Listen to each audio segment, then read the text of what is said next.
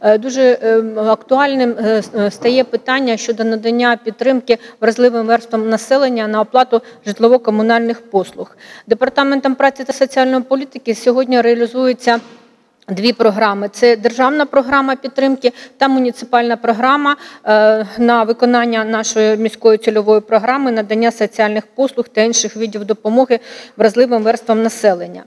Все ж таки основними е, видами е, підтримки вразливих верст населення залишаються державні програми, це пільги і субсидії. Що стосується пільг, то з жовтня 2019 року працює е, два механізми надання пільг, е, які передбачаються в безготівковій формі, це через Ощадбанк, і в готівковій формі е, безпосередньо одержувачам пільг і субсидій, але при цьому одержувачі пільг і субсидій повинні самі в повному обсязі сплачувати житлово-комунальні послуги.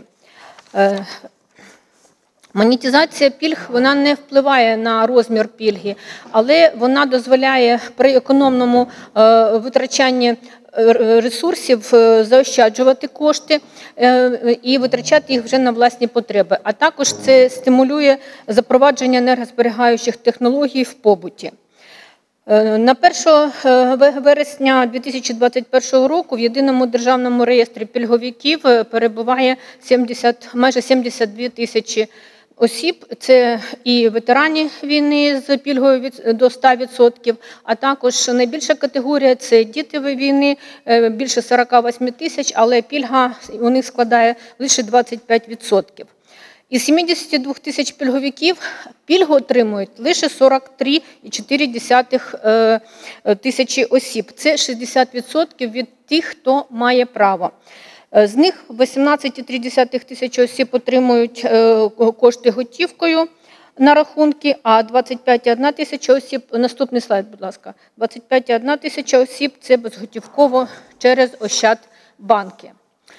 Е, Якщо казати про динаміку кількості отримувачів пільговиків, то ми бачимо, що ем, сьогодні е, йде динаміка зменшення отримувачів пільг, як е, тих, хто перебуває в реєстрі як пільговік, так і тих, хто фактично отримує пільги. Фактично отримує пільгу менше е, з причин, що законодавством визначено для ряду категорій пільговиків право отримання пільг тільки з урахуванням доходів. І на сьогодні, якщо пенсія у учасника війни, бо у дітей війни, у багатодітних сімей перевищує 3180 гривень, то пільга їм призупиняється. Ми бачимо, що за 5 років е, кількість пільговиків скоротилась майже на 35%. Таке скорочення загальної чисельності пов'язане з тим, що збільшується рівень смертності серед ветеранів Великої вітчизняної війни, дітей війни, постраждалих внаслідок аварії на ЧАЕС. І рівень смертності за останні е, роки щорічно е, збільшився з 7% до 11%.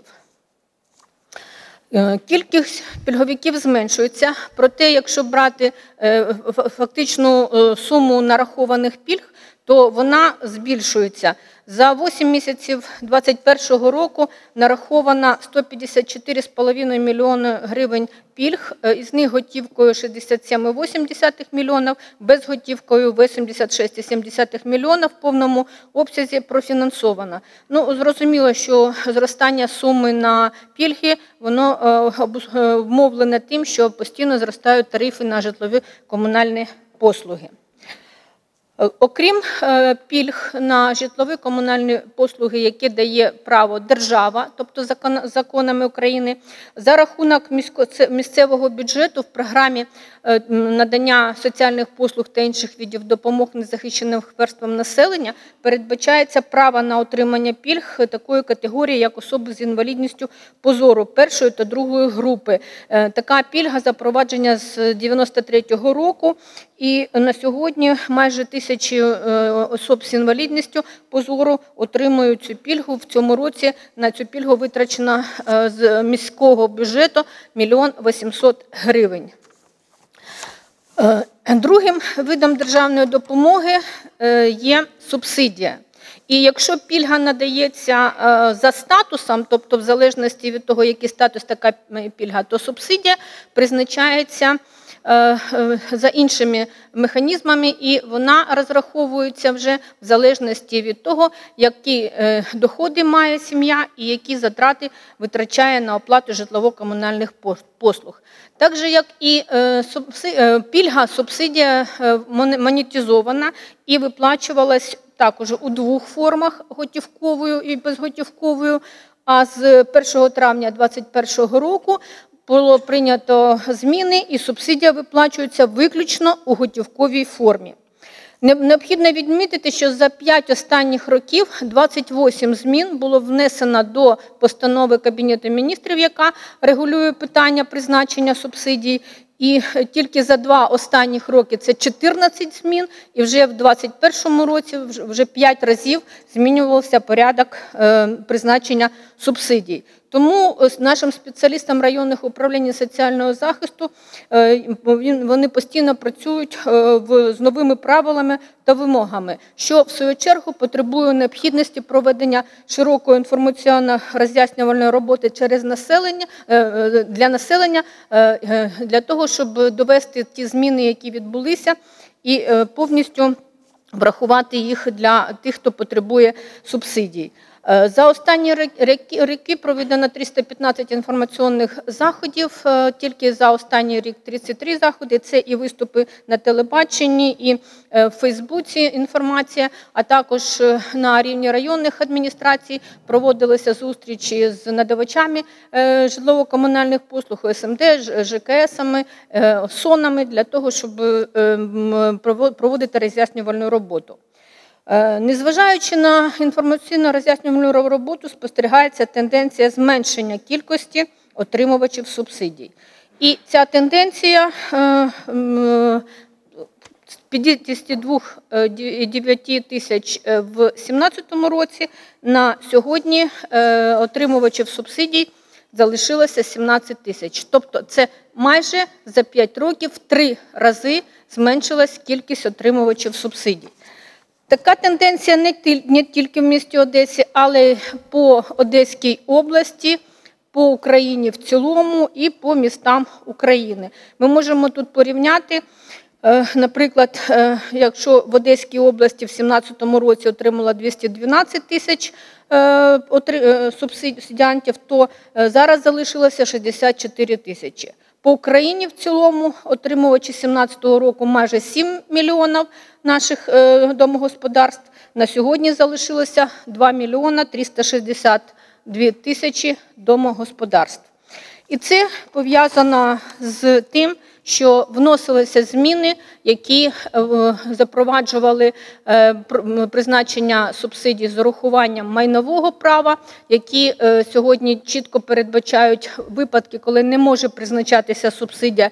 Для Одеси це характерно, що якщо до складу домогосподарства належить особа, яка не працює, або яка працює, але працює в тіні і не сплачує податки, то, на жаль, таке домогосподарство право на субсидію втратило. Це все призвело до того, що е, е, кількість така е, так зменшилася. І окрім цього, враховується і наявність другого житла, і наявність автомобілів, і купівля валюти, і виїзди за кордон. Тобто, все це враховується. Е, На 1 травня в нас отримувачів субсидії було 22 е, е, тисячі 200 домогосподарств. Травні двічі вносили зміни до постанови Кабінету міністрів, і все ж таки, враховуючи карантинне обмеження, було прийнято рішення проведення автоматизованого перерахунку субсидій на опалювальний період за результатами верифікації. Тільки три категорії осіб повинні звернутися е, і надати нові заяви і декларації. Це ті, хто отримував е, субсидію у безготівковій формі, тим, хто е, кому була призна- призначена субсидія за фактичним місцем проживання, і тим, кому призначалася субсидія без урахування членів е, сім'ї, які зареєстровані, але не проживали за е, місцем реєстрації. Е, З урахуванням зазначеного е, переважній більшості домогосподарств була про- продовжена субсидія автоматично. І після отримання в кінці червня е, верифікації від Міністерства фінансів, а також завдяки тісної спільної співпраці з нашими організаціями надавачами житлово-комунальних послуг, бо всі вони повинні були надати нам відповідні відомості, були проведено перерахунок на неопалювальний період з 1 травня, і 17 тисяч наших домогосподарств автоматично е, отримали е, продовження на наступний період. Від е, двох тисяч сімей надійшли заяви е, про відмову від субсидії і е, поновлення пільг на неопалювальний період. Близько 700 сімей відмовили, е, було е, відмовлено в призначенні субсидій із-за того, що е, був змінений порядок. 507 домогосподарств за результатами верифікації не мають права на призначення субсидій. І, до речі, із е, е, до- домогосподарств, які не мають права, було виявлено 43 переплати на суму 490 тисяч гривень, е, із яких вже повернуто майже 200 тисяч. І основна причина цих переплат це була недостовірні дані, які е, були внесені в декларації е, отримувачами, а також несвоєчасне повідомлення про ті зміни, які відбулися в сім'ї. І е, 778 сімей до е, цього, цього терміну ще не звернулися з новими заявами та деклараціями, незважаючи на те, що вони отримали повідомлення про необхідність звернення. І 1200 справ сьогодні перебувають е, під перевірками, тому що є е, невідповідність е, даних, які вказані в заявах, і те, що нам показує верифікацію. Тому ми на сьогодні ще працюємо з цими справами, уточнюємо склад зареєстрованих осіб, зміну соціального статусу а також отримуємо від надавачів житлово-комунальних послуг е, відомості щодо наявності чи ненаявності заборгованості за оплату житлово-комунальних послуг для того, щоб вирішити питання продовження субсидії. Таким чином, на сьогодні е, 100, е, е, 17 тисяч отримувачів і загальна, е, загальний обсяг нарахованих субсидій на 1 е, вересня склав 112 тисяч 700 е, мільйонів гривень. Е, Ці кошти е, профінансовані.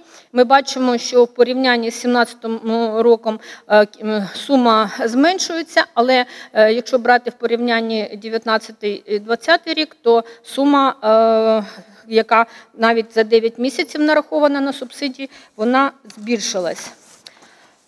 Е, Середній розмір субсидії на сьогодні е, в Одесі складає е, на опалювальний період 987 гривень, в неопалювальний період 213 гривень. В порівнянні з Одеською областю сума в опалювальний період в нас більше, а в неопалювальний період сума менша, оскільки в Одеській області 895 гривень і 292 гривни. Е, В порівнянні з середнім розміром по Україні розмір е, субсидій в Одесі менший, оскільки середній розмір в Україні складає в опалювальний період 1256 гривень, в неопалювальний 327 гривень. Е, Ми можемо сказати, що мінімальний розмір субсидії, ем, який є на сьогодні, це 1 гривна 14 копійок. Максимальний розмір 1859 гривень. Але якщо е, брати максимальний розмір в опалювальний період, то у нас найбільший розмір був в однієї сім'ї, яка е, є багатодітною, має 10, е, 10 е, дітей. Це вони отримали 6730 гривень субсидії. Е, Необхідно відмітити, що субсидія сьогодні призначається на норму, е, тобто не на всю е, в- е, житлову площу або витрачені ресурси, а на встановлену норму. І враховуючи карантин, було запроваджено збільшення норми на 50%. Е, На сьогодні така норма буде діяти тільки в тому разі, якщо е, е, область буде знаходитись е, в червоній зоні. До того застосовуються звичайні норми.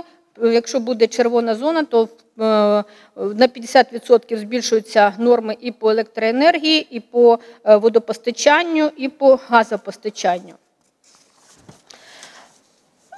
Враховуючи зменшення кількості е, субсидіантів і е, пільги і субсидії, це тільки поточні допомоги, тобто вони не е, м, стосуються тих боргів, які є е, в родині, якщо е, ця родина не змогла своєчасно оплатити за житлово-комунальні послуги. Тому Е, На рівні міста в програмі була передбачена можливість погашення заборгованості найбільш вразливим верствам населення е, е, боргів за житлово-комунальні послуги. І за 8 місяців е, майже 90 900 сімей скористалися таким правом. Надана ця допомога на погашення боргів у розмірі 5,8 мільйона. Ми бачимо, що при е, зменшенні кількості субсидіантів зростає кількість тих, хто звертається за муніципальною допомогою. І е, ми е, бачимо, що якщо в 2017 році 648 е, е, домогосподарств зверталися за такою допомогою, то в 2020 році, році це вже 1352 сім'ї і за 9 місяців цього року 896.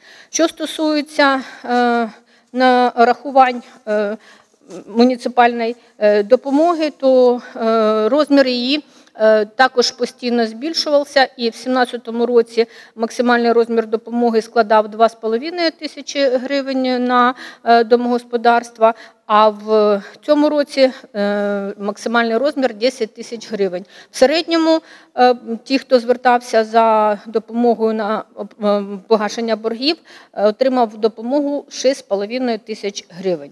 Таким чином, в умовах постійних змін механізму призначення субсидій на житлово-комунальні послуги міська влада бере на себе зобов'язання з підтримки мешканців міста в умовах підвищення цін на житлово-комунальні послуги. І, на жаль, така тенденція вона зберігається.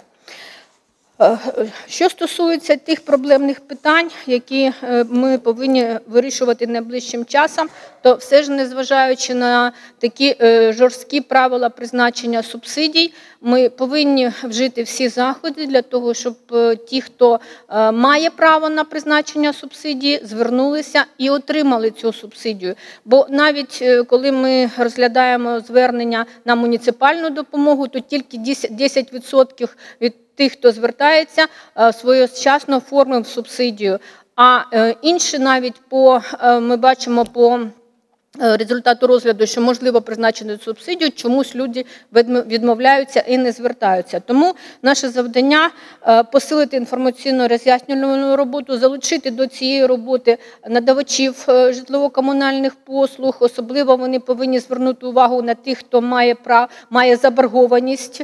Е, Також е, е, знову провести через районні адміністрації зустрічі з ОСМД з СОНами і е, залучити депутатські приймальні, е, які працюють з населенням для того, щоб е, дійсно надати можливість всім звернутися. Тому що звернення є в спрощеному порядку, необхідно надати тільки заяву і декларацію заповнену, і її можна надати будь-який будь-який спосіб, чи е, самостійно, чи через е, поштове відділення, через скриньки, які є на фронт-офісах, в електронному вигляді, через сайт Міністерства соціальної політики, тобто будь-яким чином. Е, Окрім цього, е, враховуючи, що крім заяви і декларації е, люди не надають ніяких відомостей, то ці відомості ми беремо в електронному вигляді у наших партнерів, тобто надавачів житлово-комунальних послуг, пенсійного фонду, фіскальної служби. І сьогодні з усіма постачальниками житлово-комунальних послуг налагоджено електронний обмін інформацією.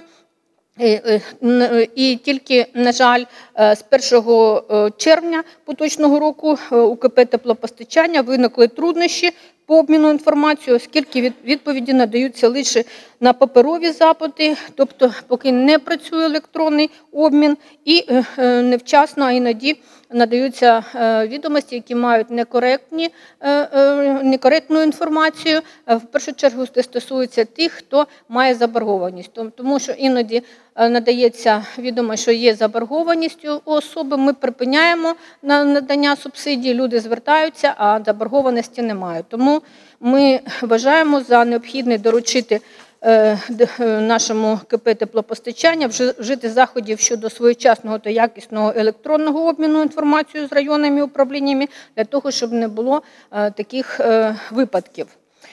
І, на жаль, зовсім немає електронного обміну з нашим центром надання адміністративних послуг.